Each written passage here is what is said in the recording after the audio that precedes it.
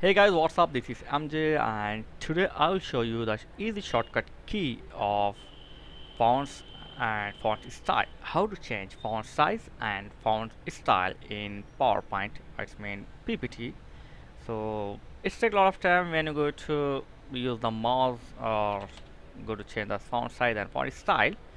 Uh, for example, here you can see if you want to go the font size like this, you, you need to click the home page and then select the fonts and font style font size like this.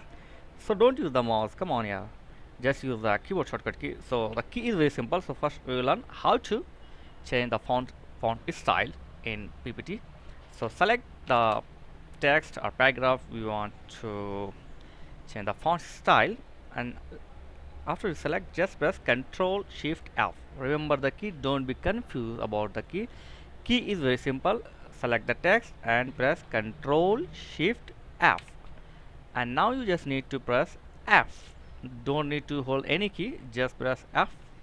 Okay here you can see the font is selected now. And here you can extend this like this or if you know the font's name just type the fonts like Times Roman or Calibri like this. Press enter. Okay just press enter. That's it or if you want to change uh, other fonts like Times Roman, Tahoma, all these things so just press Ctrl Shift F and press F only F don't don't need to hold any key and type anything like this fonts that's it. So now the font size.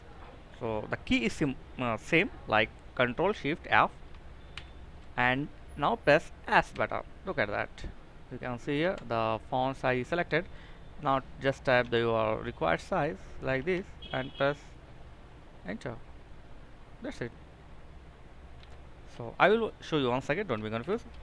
For changing a font style uh, select the text and press ctrl shift F and leave the all key and only press F button and select your font like like this and press enter.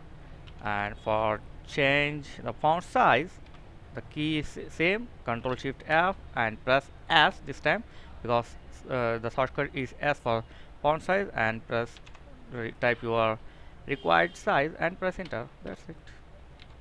It's simple. So use this shortcut key for your easy convenience to making your presentation beautiful and fast. So thanks for watching and see you next video. Please don't forget to like comments and subscribe. Thank